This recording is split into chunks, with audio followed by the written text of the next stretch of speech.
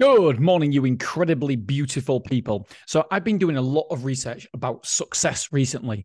And I get it. Success means different things to different people. Success could mean to have an amazing family life to one person. Success could be to be a social media princess or prince and have loads of followers. Success to other people is having loads of money in the bank. So I get it. I get it that success is different to other people. And success to me is yes, I want to be stinking fucking rich, but I also want to have an amazing home life as well. My number one priority for getting everything else is my kids. I love spending time with them. And while they want to spend time with me, I try to carve out as much time as possible to spend with them as well. So that is success to me. Obviously, that's a very, very, um, it's a tip of the knife, tip of the knife, tip of a, I don't know. It's it's a tip anyway, and so there's much more that goes into it. But what I've been reading about success and how to get there, you have to have a definite purpose.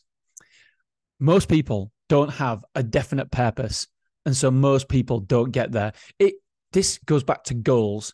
Do you set yourself goals, targets? Do you have ambitions? Do you write them down? If not, why not? It's like a sat nav. A sat nav is useless unless you input a destination. So, what is your destination? What is your definite purpose? My definite purpose is to be an amazing dad. I want my kids to look up to me. I want my kids to respect me and ultimately love me. But also, I want to have the means to be able to send them to incredible places, do incredible things with them. And I always, always stem back to this. I want to be able to look after my wider family.